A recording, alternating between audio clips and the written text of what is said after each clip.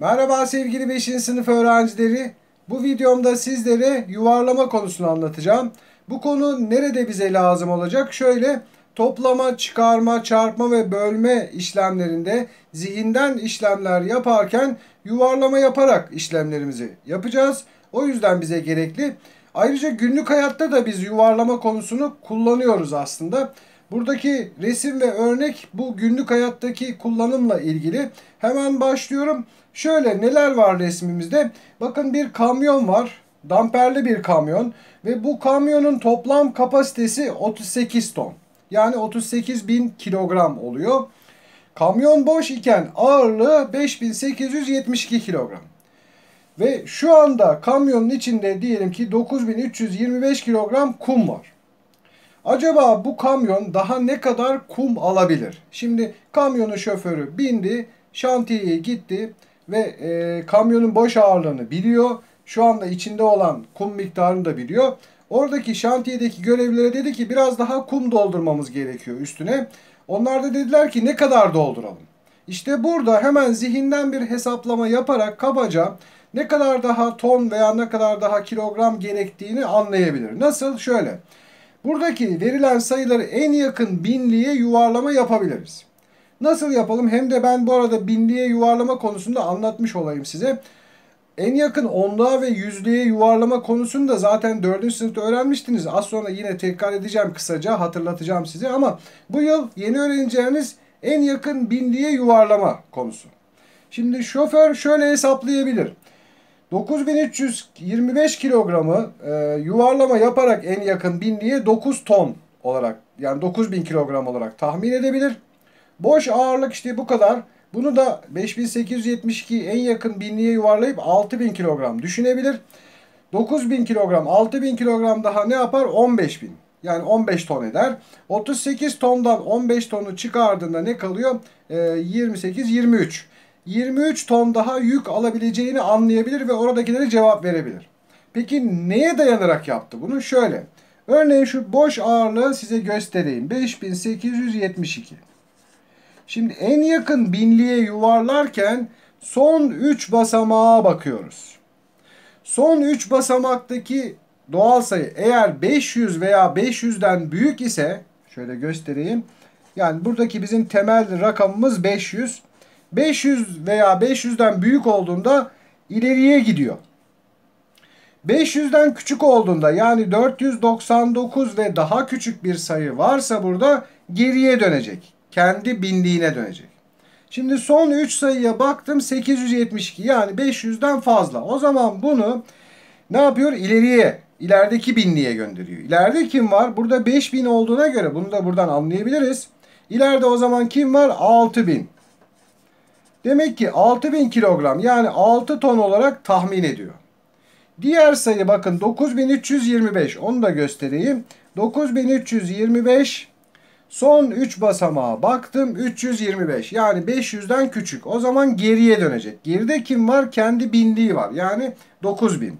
O zaman buraya 9000 olarak tahmin edecek 9000 kilogram yani 9 ton. Sonra 6 tonla 9 tonu zihinden toplayabilir kolayca. Ne yapar o zaman? 15 ton eder değil mi? Ve toplam kapasite de 38 tondu. 38 tondan da 15 tonu çıkarıp oradaki görevlilere benim kamyona 23 ton daha kum yükleyin diye söyleyebilir. Onlar da buna göre bir yükleme yaparlar. İşte günlük hayattaki kullanım böyle. Şimdi birkaç alıştırma yapalım beyaz kağıt üzerinde. Daha sonra diğer konuları da hatırlatacağım. Ayrıca bu konuda karşınıza gelebilecek çeşitli soru örnekleri yani biraz sizi şaşırtabilecek veya zorlayabilecek sorulardan da birkaç örnek göstereceğim. Şimdi alıştırma yapalım. Örneğin büyük sayılar yazalım. 287.499 olsun. Bu e, sayı hangi binliğe yuvarlanması gerekiyor? Hemen ne yapıyoruz? Son 3 basamağa baktım. 500'den küçük. O zaman geriye dönecek. Geride kim var? Bakın şuradan anlıyoruz. Binler basamağına bakıyoruz. 7000 var. O zaman 287.000 olacak. Ve şunu unutmayın. Yuvarladıktan sonra yuvarladığımız doğal sayının son 3 basamağında 0 olması gerekiyor. Bu da aklınızın bir köşesinde bulunsun. Bir örnek daha yapalım. Daha büyük bir sayı yazayım mesela. 63 milyon 724 bin 500 diyelim. Ve bunu yuvarlayalım. Bakın sonuç basamakta 500 var. 500 olduğunda ileri gidiyordu. İleride kim var? Buradan anlayacağız. 4000'i görüyorum. İleride 4000'den sonra 5000 gelir değil mi? Şu baştakiler aynı duracak. Ben şurayı değiştireceğim yani. 63 milyon 725 bin yapacağım şu 4000'i ve diğerlerine sıfırları koyacağım. Yani buradaki sayımız bu şekilde yuvarlanacak en yakın binliğe. Peki bu en yakın binliğe yuvarlama konusunda karşınıza nasıl bir soru gelebilir? Sizi zorlayabilecek veya şaşırtabilecek. Şöyle örneğin 36 bine yuvarlanan yani en yakın binlik olarak 36 bin olan en küçük ve en büyük doğal sayıların toplamı kaçtır? Böyle bir soruyla karşılaşabilirsiniz. Şimdi 36 bine yuvarlanan binlik olarak düşündüğümüzde hangi sayılar var? 35 bin 500'den başlayan ve daha büyük olan 35.500, 35.501 bu şekilde ilerleyen ve 36.000'e kadar olan sayılar var yuvarlanan. Aynı zamanda 36.000'in biraz önünde olup geriye dönenler var. Kimdir onlar da? İşte 36.001'den başlayıp 36.499'a kadar olan sayılar. İşte bu iki sayı arasında kalan bütün doğal sayılar en yakın binlik olarak 36 bine yuvarlanıyor. Ve 36 bine yuvarlanan en küçük sayı binlik olarak 35.500, en büyük sayı da 36.499 oluyor. Örneğin bir, sor e, bir soruda bunların toplamını soruyorsa 36 bine yuvarlanan en büyük ve en küçük sayıların toplamını soruyorsa bu rakamları, bu doğal sayıları bulup 36.499 ve 35.500'ü yazıp toplamak gerekiyor. 9, 9, 9. 6, 5, 11, 6, 5 daha 11, 4 oldu.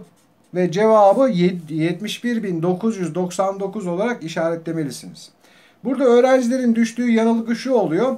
36 bine yuvarlanan binlik olarak en küçük sayıyı genelde doğru biliyorlar. 35.500. En büyük doğal sayı ise 35.999 diye düşünüyorlar. Halbuki 36.000'in önündeki sayıların olabileceğini ve geriye dönebileceklerini unutuyorlar. O yüzden yanlışlar ve hatalar yapıyorlar. En yakın yüzlüğe yuvarlarken ne yapıyorduk? Bir sayı yazalım. Örneğin 15.726. Şimdi bu sayı hangi yüzlüğe yakın? Ne yapıyorduk? Son iki basamağa bakıyorduk. Son iki basamak eğer 50 veya 50'den büyükse ileriye gidiyor. Eğer 50'den küçükse yani 49 veya daha küçük sayılar varsa o da geriye dönüyor. Gerideki yüzlüğe. Burada kim var? 26. 50'den küçük. O zaman geriye kendi yüzlüğüne dönecek. Yani 700'e dönecek. O zaman ben ne yapıyorum? Bu sayıyı en yakın yüzlük olarak 15.700'e yuvarlıyorum. Başka bir sayı yazalım. Örneğin 824.682. Daha büyük bir sayı yazdık. Yine son iki basamak bizimle ilgili. Bakıyorum 82. 50'den büyük. O zaman ileriye gidecek. İleride kim var? Şuradan anlıyoruz. Bakın burada 600'ü görüyorum. İleride o zaman bir sonra 700 var. Ne yapıyorum? 824.700'e yuvarlıyorum. Bu şekilde en yakın yüzlük olarak yuvarlamış oldum. Yine karşınıza şöyle bir soru çıkabilir. İşte diyelim ki 6800'e yuvarlanan en küçük ve en büyük sayıların toplamı kaçtır? Yani yüzlük olarak yuvarlanan bu sayıların toplamı kaçtır örneğin? 6800'e yuvarlanan en küçük sayı 6800'ün gerisinde olanların en küçüğü yani 6750. Son iki basamak 50 olduğu için ileri gidiyor. 6749 olmaz. O geriye döner çünkü. En küçük bu. Peki en büyük kim? 6800'ün önünde olanlardan düşünüyorum. 6849. Niye? 49 var. Son iki basamakta ve geri dönüyor. En büyük de bu oluyor ve bunların ikisinin toplamını bulduğumuz zaman böyle bir sorunun cevabını bulmuş olacağız. Hemen gösteriyorum. Sorumuzu da bitirmiş olalım. 9, 9, 15, 7, 6, 13 oldu. 13.599. Şunu da söyleyeceğim. En yakın yüzlüğe yuvarladığımızda e, yuvarladıktan sonra doğal sayının son iki basamağında sıfır olması gerekiyor. Ve son olarak en yakın onluğa yuvarlamayı hatırlayalım. Örneğin 6775 diyelim. En yakın onluğa yuvarlarken de son basamağı, birler basamağına bakıyoruz. Eğer birler basamağında 5 varsa, 6, 7, 8 ve 9 varsa, 5'ten büyük olan rakamlar varsa ileriye gidecek.